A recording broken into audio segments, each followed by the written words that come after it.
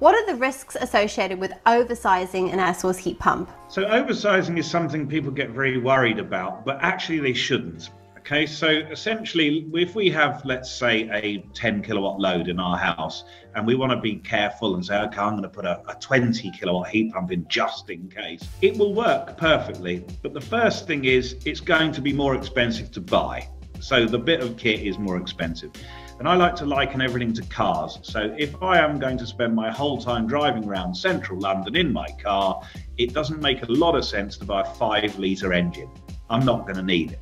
So it's going to be a little bit more expensive to run because it's pooping along and it's too big for the job.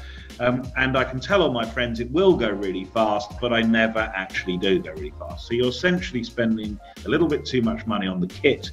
Um, you're not getting as good a efficiency as you can. Heat pumps work really, really well between sort of 25 and 75% of their capacity.